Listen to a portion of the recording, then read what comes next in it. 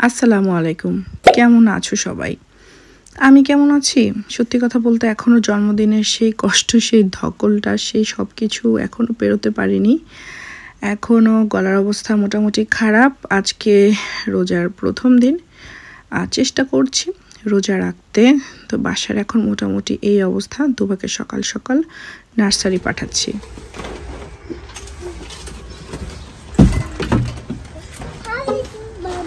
আল্লাহ হাফেজ fly kiss দাও একটা ফ্লাই কিস আমার ঠান্ডা আজকে। কান ডাকো কান ডাকতে হবে কান ডাকো কান সুন্দর আজকে মোটামুটি অনেকটুকুই আমি চেষ্টা করব ভয়েস ওভার দিতে কারণ ভয়েসের অবস্থা খুব একটা ভালো না স্ট্রাগল করেই কথা বলছি। মোটামুটি দুই দিনের মতো আমার কথা বন্ধ। তো দুবার জন্মদিনের পর আমি একটা ভালো গ্যাপ নিলাম। ব্লগে কারণ যেহেতু কথা বলতে পারছি না ব্লগ করব কীভাবে। তো এখানে আহ, পাঠিয়ে দেওয়ার পর একটা পার্সেল আসছে। এগুলো আলি এক্সপ্রেস থেকে ও না এগুলো শিইন থেকে আসছে। সো রিসেন্টলি আলি এক্সপ্রেস এবং শিইন থেকে অনেক আমার অর্ডার আসছে। যেমন এটা হচ্ছে কি তুবার জন্য এটা সামারের একটা জামা। হয়তো বা একটু বেশি বড় হয়ে যেতে পারে এবার। যদি বড় হয়ে যায় এবার পরাতে পারব না। বাট তাবিদের জন্য একটা জামা কিনেছি, এটা খুবই সুন্দর। এটা আমার ভালো লেগেছে। আমার এমনিতেও এরকম চেক চেক প্রিন্ট অনেক পছন্দ। সো এখন ওকে এটা আমি বিন্দাস সুন্দর করে পরাতে পারব এবং কাপড়টা খুব বেশি ভালো, ঠান্ডা একদমই লাগবে না। It's not for summer season obviously এটা উইন্টারেই পরাতে হবে। তাবিদ তো নর্মালি সুইং চেয়ারে বসে না। ওর হাতে একটা কাগজ দিয়ে ওকে একটু ব্যস্ত রেখে আমি প্যাকেটগুলো দেখছিলাম যে কি কি আসছে, না আসছে। তো এরকমই হয় আর কি মানে ওর ওর সবসময় অ্যাটেনশন লাগবে এবং তোমার মতো যেমন মুখে একটা ডামি দিয়ে ওকে শোয়ায় রেখে অনেক কাজ করতে পারতাম, এগুলো পারি না।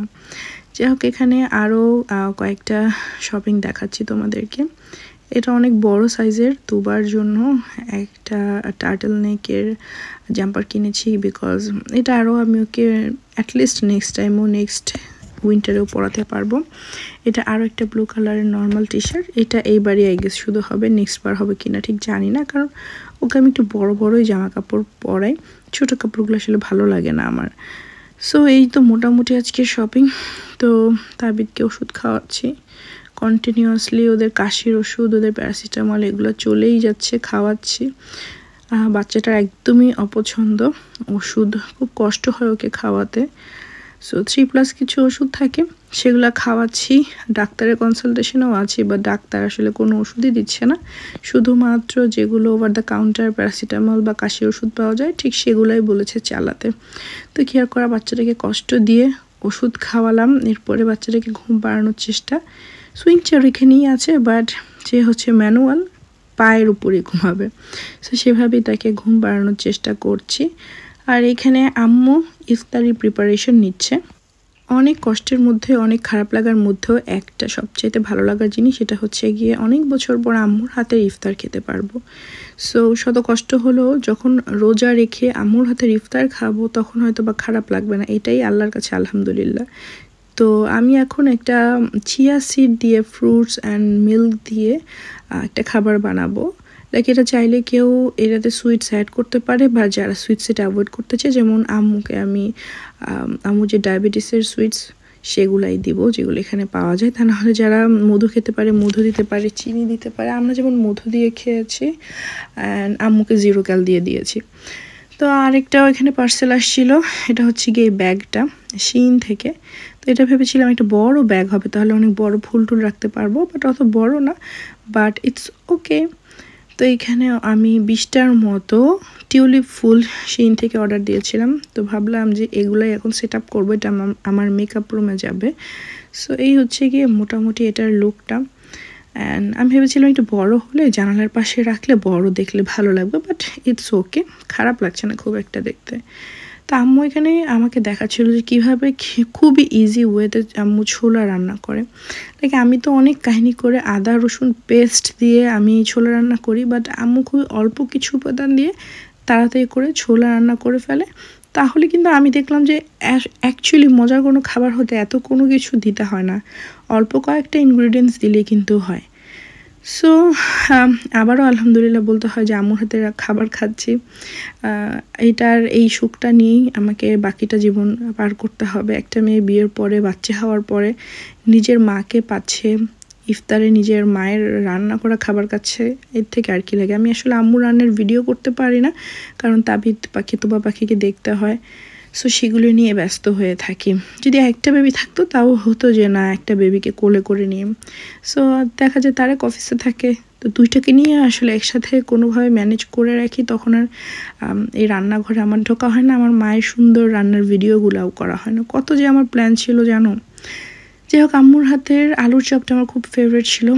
এবারও যে খেতে পারছি এটাই অনেক কিছু।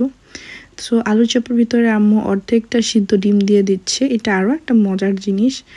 অ্যান্ড আমার খেতে খুবই ভালো লাগে এই আলুর চপটা।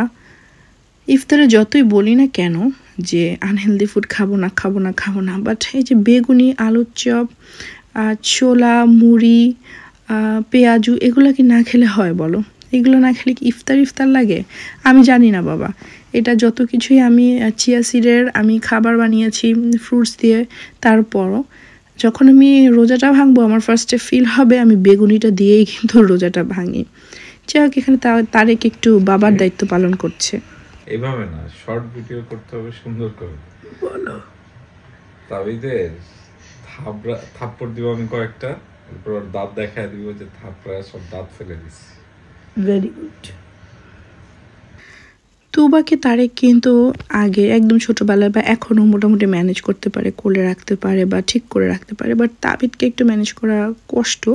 আমি শুনেছিলাম ছেলে বেবি পালা কষ্ট। আমি কখনো ভাবিনি যে এমন টাইপের কষ্ট হবে। এই যে দেখো, তাবিদ কিন্তু খুব কাশছে। ওর এই কাশিটা এক সপ্তাহের বেশি হলো। ডাক্তারকে বললাম, তারপরও ডাক্তার কোনো ওষুধ টষুধ দেয় না। সো বেচারা হচ্ছে গিয়ে এই কাশি নিয়ে নিজেও ভুগছে, আমিও ভুগছি।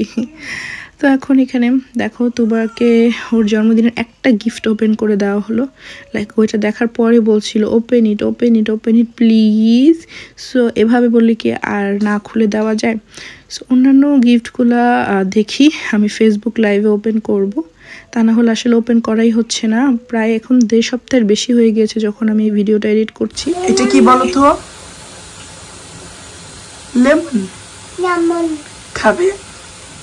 বলো আচ্ছা আচ্ছা। আই লাভ ইউ বলো। আই লাভ ইউ একটা ফ্লাইং কিস দাও। আমি এখানে শরবত বানাচ্ছিলাম ইফতারের জন্য। তো রু আফজা তো খেতেই হয়। রু আফজা খেলে যে জিনিসটা হয় এক্সট্রা সুগার অ্যাড করলে কিন্তু খুব বেশি সুগার খাওয়া হয়ে যায়। কেন জানি যত আনহেলদি ফুড খাই কেন জানি সুগারটা খেতে গেলেই আমার খুব আর- আর কি মাথায় লাগে যে কেন ওয়াই তো চেষ্টা করব এরকম সুগার বাদ দিয়ে অন্যান্য আনহেলদি ফুড খেতে আম্মুর বানানো বেগুনি, এটা হচ্ছে গিয়ে অমৃত। হ্যাঁ আলহামদুলিল্লাহ, এবার আম্মুর হাতে বানানো বেগুনিটাও খেতে পারছি। খুবই ভালো ছিল, খুবই মজা লাগছে। সো এখানে আমি আমার তারিখের জন্য হানি অ্যাড করে নিচ্ছি, আর আম্মুর জন্য জিরো ক্যাল সো এইটা কিন্তু একবারটি খেলে লিটারেলি পেটটা ভর্তি হয়ে যায়। বাকিগুলা ঠুসে ঠুসে খেতে হয়। তো একটু পরে ইফতারের আজান দিবে। এই যে এই চাপটা আমি কিনেছিলাম রোজার সময় যে এটাতে আমি খেজুর রাখব। আমি ভাবিনি এটা এত বড় হবে। সো এখানে ভাবলাম পরে ভাজা পোড়া যেগুলো এক্সট্রা থাকে সেগুলো রাখব।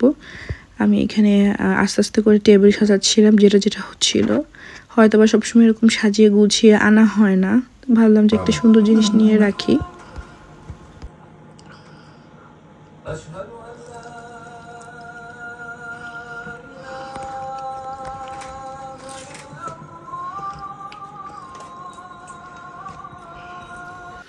আমার যেহেতু গলার অবস্থা খুব খারাপ তাও তো একটু কথা বলতে পারছি। আম্মু আমাকে আদা চা বানিয়ে দিল। তো আদা চাটা খাচ্ছি আর ভাবছি যে কবে যে একটু আগের মতো কথা বলতে পারব। তাবিদ ভাই কান্না করে চলো যাই। তোমার হাত থেকে হামটি ডামটি। হামটি ডামটি। আচ্ছা আস্তে আস্তে নামো বি কেয়ারফুল আমি তোমাকে নিব? আচ্ছা আমি তাহলে এই ময়লাটা ফেলে আসি। তুমি ওয়েট করো মামির জন্য। আচ্ছা।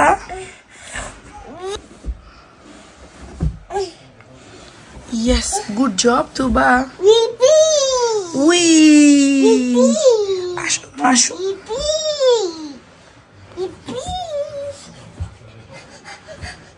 good job Tuba I love you এই যে, এগুলো হচ্ছে কি আমার আয়রন ট্যাবলেট আমার ভিটামিন ডি আমার শরীর ব্যথার ওষুধ। সো এগুলো খেয়ে আজকে রাতে ঘুম যাচ্ছি আর সেহেরিতে আমরা কখনই সেভাবে ওভাবে কিছু খাই না। কারণ সেহেরিতে আসলে আমরা খেতে পারি না। অ্যান্ড এই তো মোটামুটি ফ্রেশ টেশ হয়ে এখন আমরা ঘুমাতে যাব।